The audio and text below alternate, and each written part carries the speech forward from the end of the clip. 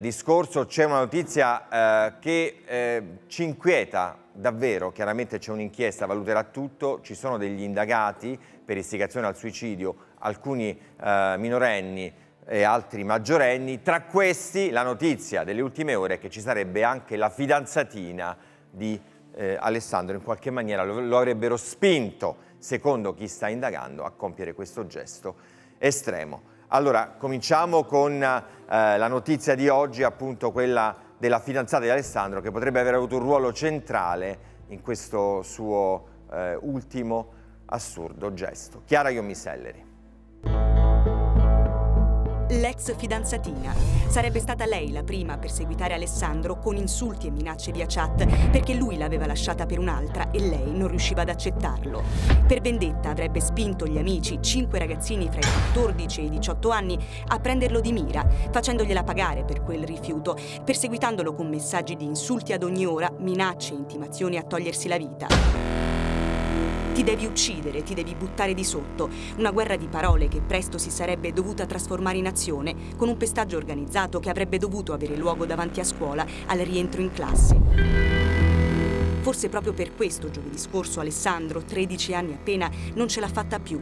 Da solo in casa, stanco e disperato per una situazione che non riusciva a sopportare, ha aperto la finestra della sua cameretta al quarto piano di questo appartamento di Gragnano, vicino a Napoli, e si è gettato nel vuoto. Non prima di inviare un ultimo messaggio di addio alla fidanzatina di un anno più grande, l'unica con cui aveva avuto il coraggio di confidare le angherie alle quali era sottoposto. Non reggo più, ti lascio, ricordati di me poi volo di oltre 15 metri che non gli ha lasciato scampo. Un incidente si era pensato e forse sperato all'inizio, perché quando è caduto Alessandro stringeva fra le mani il cavo di un'antenna. E invece no, i carabinieri sequestrano il suo telefonino e scoprono la verità. Una verità terribile, fatta di messaggi che gli inquirenti definiscono inequivocabili da parte di quattro ragazzini minorenni e due maggiorenni, due dei quali, fratelli, erano già stati denunciati per un violento pestaggio avvenuto a Gragnano, sempre contro un ragazzino solo. Tutti ora sarebbero indagati a piede libero per istigazione al suicidio. Messaggi di cui la famiglia, distrutta dal dolore per la morte dell'unico figlio, non sapeva nulla. Era un ragazzo gioioso, simpatico, bravo a scuola, pieno di amici e piacente, dice chi lo conosceva, che viveva una storia d'amore felice. Possono essere state davvero l'invidia, la gelosia e la sete di vendetta a muovere chi lo ha spinto a farla finita? Una storia incredibile e dolorosa anche perché guardate lui ritorna dalle vacanze ed è un ragazzo felice e poi tutto precipita in due giorni. Andiamo in diretta Antonella Del Prino, ci sono questi messaggi che a quanto pare parlano chiaro e quindi eh, insulti, veniva bullizzato, eh, veniva spinto a un gesto estremo. Perché adesso viene fuori questo ruolo centrale della fidanzata? Cosa porta a lei?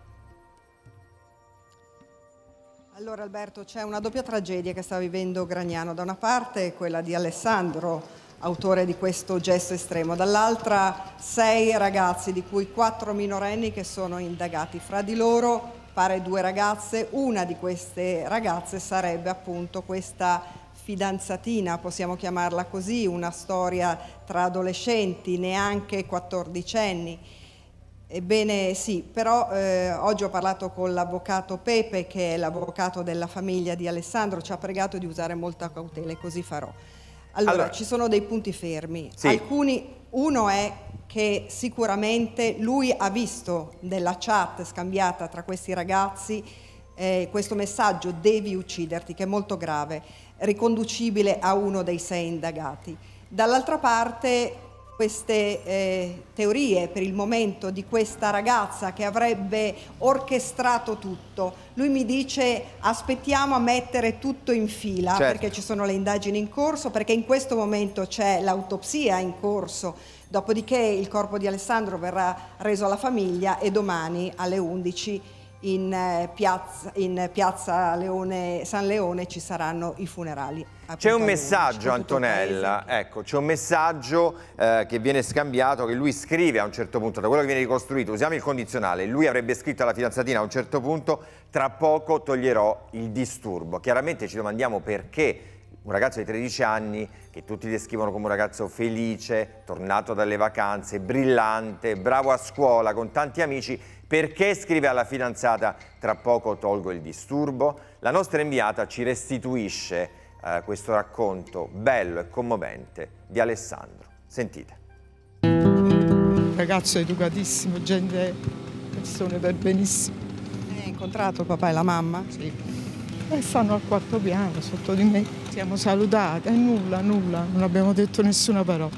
Solo pianti e saluti. Andrebbero dai 14 ai 18 anni sei indagati sospettati di istigazione al suicidio del giovane Alessandro, più giovane di loro, e un manifesto fuori di casa che ne annuncia il funerale si affaccia sul retro l'appartamento della famiglia di Alessandro. Vedete il filo della televisione che all'inizio sembrava eh, fosse la causa di una disgrazia per cui Alessandro si fosse sporto troppo in avanti e fosse caduto, ma purtroppo la eh, realtà dei fatti in questo momento non sta dicendo la stessa cosa.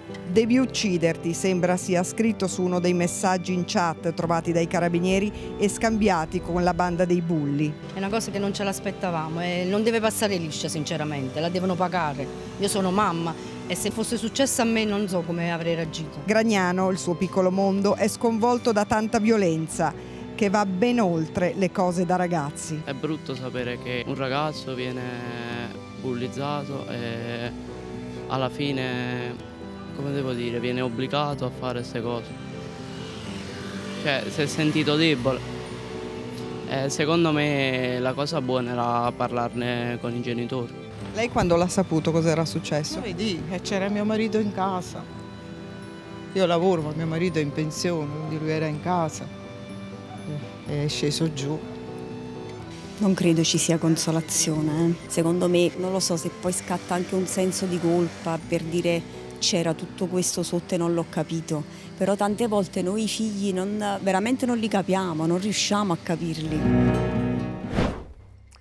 È chiaro che questa vicenda è assai dolorosa, anche per, soprattutto perché parliamo di un ragazzo di eh, 13 anni. Il monito che arriva da questa storia è quello che noi dobbiamo fare molta attenzione, controllare, è brutto ma bisogna farlo, le chat dei ragazzi, cosa accade, non sottovalutare alcuni segnali eh, come quelli che stiamo raccontando. Antonella, perché parliamo di ragazzi, tu mi hai detto ci sono indagati la fidanzata dei maggiorenni, ma ci sono anche dei ragazzi minorenni. Che cosa sappiamo di loro? Qual è il contesto? Quello che tu ci hai appena restituito è un ragazzo amato, che va bene a scuola, brillante, apparentemente felice. E dunque cosa è successo?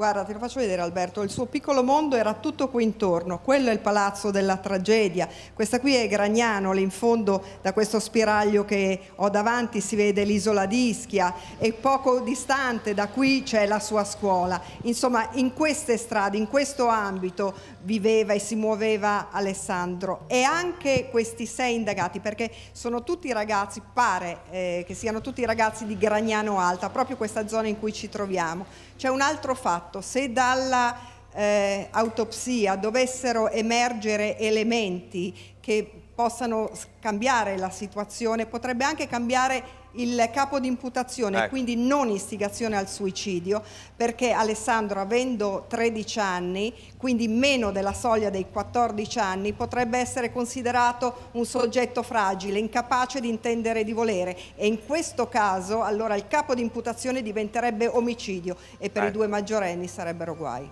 Grazie a te